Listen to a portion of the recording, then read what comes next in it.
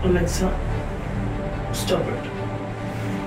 It's 4.06 am. It's 28 degrees Celsius with mostly cloudy skies. This is my day one of 21 days challenge जहाँ पे मैं अपना habit ठीक करने वाला हूँ तो सुबह मैंने चार बजे उठा और सुबह उठ के ही मैं स्टडी सेशन लगा दिया फिर जिम के लिए रेडी हो गया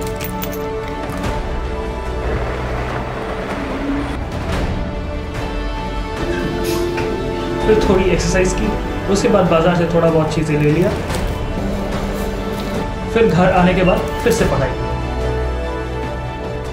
उसके बाद मैंने अपने स्टूडेंट्स को पढ़ाया আচ্ছা পলিটিক্যাল রিপ্রেজেন্টেশন এবার জিনিসটা একটু ইকুয়ালিটি রেসপেক্টে